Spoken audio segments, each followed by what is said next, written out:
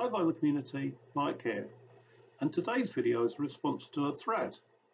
And I've just watched my mate Berwickshire Mike up there in Berwickshire up in the Scottish borders uh, do his response. And at the end he said that uh, this was something that was right up my street and that I ought to have a go and I totally agree with him. Anyway, the thread comes from a guy called Ed and Ed's over in the United States. He's a new channel and he's called uh, On My Turntable. And what he wants us to do is to show five or ten albums from female fronted bands, uh, all female bands, female singer songwriters. And uh, the idea behind it is that he thinks that women don't get uh, nearly enough recognition in the VC as they should. And I totally agree with him. So after you showed your 10, uh, he wants us to also uh, talk about a gig we've been to uh, for one of the artists that we've shown, and just to talk a little bit about that. So uh, that's what I'll do. So um, first off is uh, a band that I've loved for years and years, and this is uh, 10,000 Maniacs. This is their second album, The Wishing Chair, and it's a bit sort of New York indie, but very folky, this album. And the lead singer and uh, the person who writes a lot of the songs anyway is that Natalie Merchant, and Natalie's got an absolutely phenomenal voice. And uh, yeah, 10,000 Maniacs, I'm sure you've heard of them, but uh, if you haven't, go and check them out because they're wonderful. So that's number one. So here's number two. Right, number two is a band that's formed in Birmingham in the uh, late 70s, early 80s. And uh, it's these guys, it's the Au Pairs. And the Au Pairs are a sort of post punk band, and uh, they were fronted by uh, a singer called uh, Lesley Woods. She was also the guitarist, and then the bass player was another another female artist, Jane Munro. And this is called Playing with a Different Sex. And I've actually been to see Au Pairs quite a few times. Uh, you know, back in the day. And, you know, they're absolutely wonderful. But that's not the gig I want to talk about. Uh, so I'll, I'll leave that to the end. So we've got uh, some great tracks on here. There's Repetition, which is, um, oddly, I always think, a David Bowie uh, pen tune. And it's about domestic violence. And it's, it, it's really done justice by the au pairs here. And then We're So Cool is a, is a great one. Unfinished Business and it's obvious. Um, really good. I mean, they were pretty big for a little while, around about 1980, 81 back in the UK, and uh, I still think they're great. So that's the Au Pairs. Right, next up is a band from Canada. And uh, it's these guys, they're called Austra, and this is Future Politics.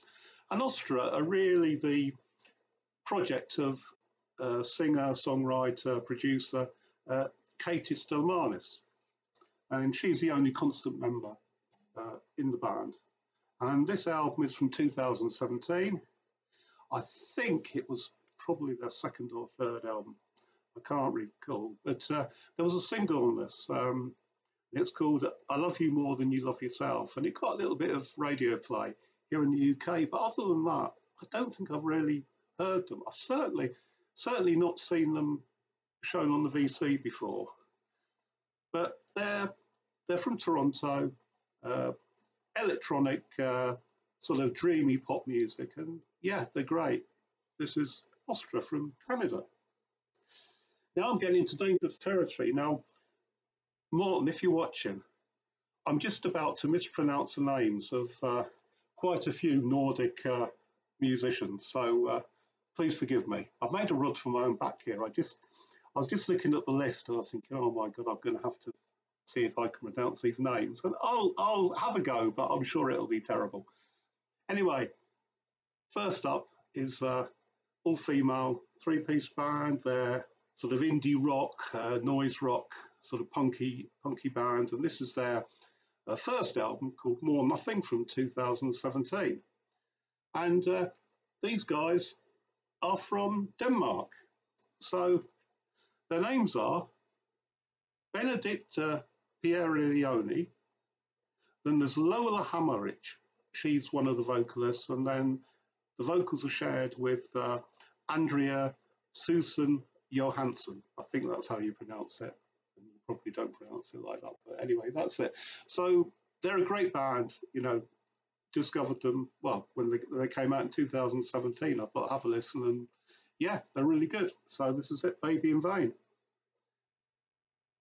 Uh, next up, uh, not a Nordic singer as far as I can tell. This is uh, Holly Cook, and uh, it's a bit of reggae. And I promised myself that I would show a bit more reggae after complaining in a previous video that reggae doesn't get nearly enough uh, uh, time on the VC.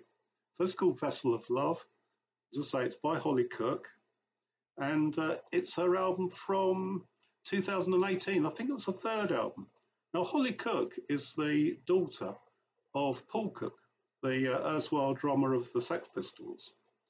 And her mother, uh, Lenny, was um, a backing singer for Culture Club.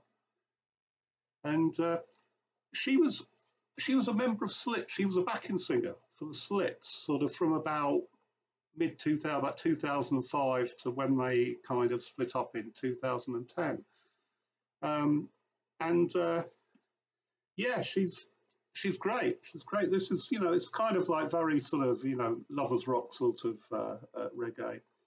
And uh, yeah, yeah, I love the cover. It's called uh, Vessel of Love. Right.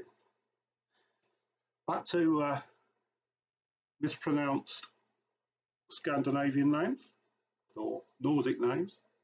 And this is Dreamwife. And uh, again, it's a it's a post-punk uh, all-female trio. And uh, they were formed in Brighton. They met at college in Brighton and they're now based in London. And the lead singer of uh, this band, the lady in the middle there, is called Rakel Mjöll.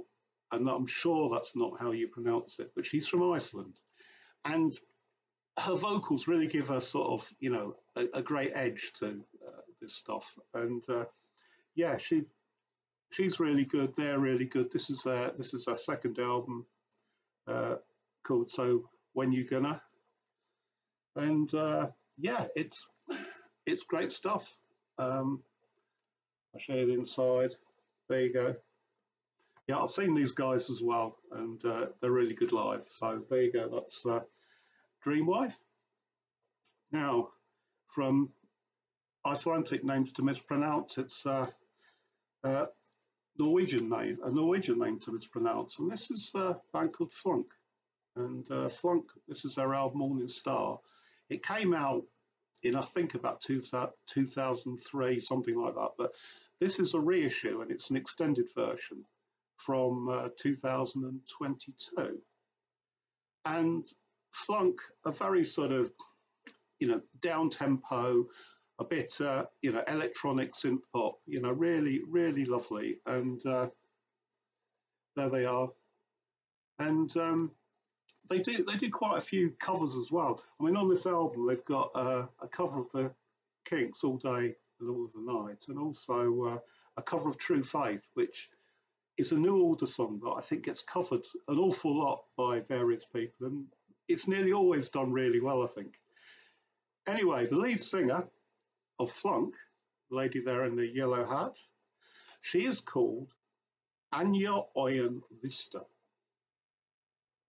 And uh, she's got this lovely, lovely voice. She's absolutely brilliant. So this is Flunk from Norway. Right. Next off, I'll show this. And uh, this is from uh, Françoise Hardy. And we've just learned today that sadly she died at the age of 80 and uh, you know she was a sort of megastar in France, and what a beautiful woman she was.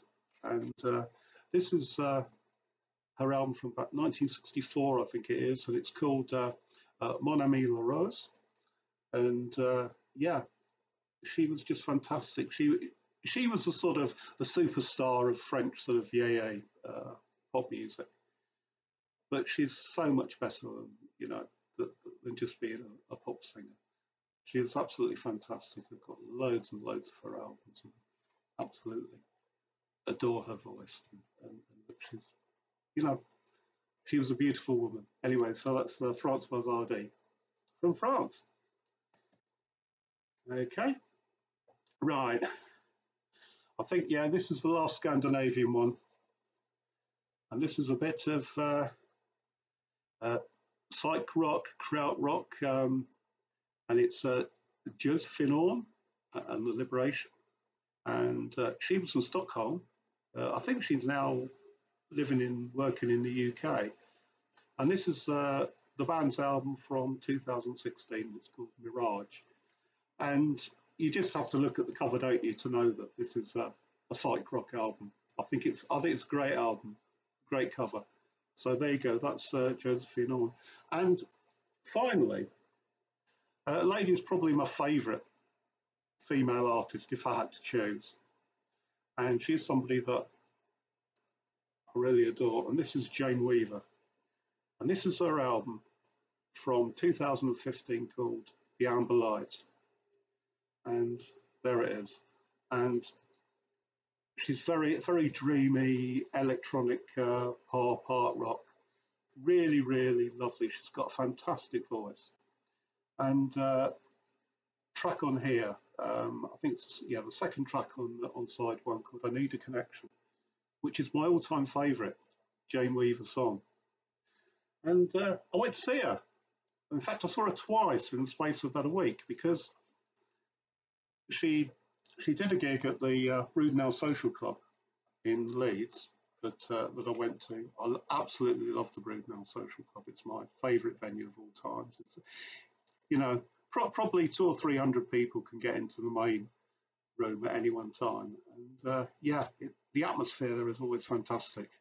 But before she played at the Brudenell, about a week earlier, she did an in-store uh, performance at Jumbo Records in Leeds that uh, that I went to, and uh, she admitted at the time that she was still uh, learning the uh, the set for the the, the, upcoming the upcoming tour, and you know, ju judging by her performance at the Brudenell a week later, she she succeeded in um, in in learning all the stuff. Uh, at, the at the record store, it was just her with a, with her guitar, and uh, at the Brudenell it was a uh, you know full band, and and she did say that it's a lot easier to play with a band behind you than it is to perform solo, or at least that's how she finds it. Anyway, this is the album that she's touring, and it's an absolutely brilliant album. There you go. It's called The Constant Spectacle, and uh, yeah, and it's it, yeah. She signed it for me to Mike, from Jane, and then also got this uh, promotional uh, photograph that's also signed. So uh, there you go. Yes, she was absolutely brilliant. I mean, the new album's fantastic, and what really made my day is that uh, she encored with uh, my uh, my my favourite tune from uh, from here. I need a connection. So you know, all round it was an absolutely fantastic gig. So so that's it. So I'll leave a link to uh, Ed's channel so you can go over and uh, support him and uh, you know have a go yourself. And uh, thanks very much, uh, Mike, Berwickshire Mike, for pointing me in the right direction of this one because I've really enjoyed doing it. So until next time, see ya.